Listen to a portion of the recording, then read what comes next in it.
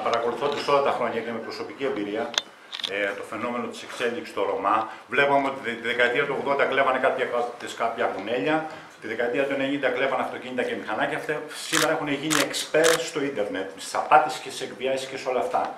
Γιατί μίλησαν πολύ ειδικοί πάνω και ε, τους άκουσα. Ε, ό,τι και να γίνει, ό,τι και να γίνει, το μόνο που μπορούμε να καταφέρουμε με το υπάρχον νομοθετικό καθεστώς είναι να περιορίσουμε τη ραγδαία εξέλιξη του φαινομένου. Τίποτα άλλο δεν μπορούμε να κάνουμε. Ευχαριστούμε πάρα πολύ. Λοιπόν, έχουμε όμως ευθύνη όλοι, γιατί δυστυχώς μόλις έρχονται οι εκλογές πάμε και σου χτυπάμε την πόρτα.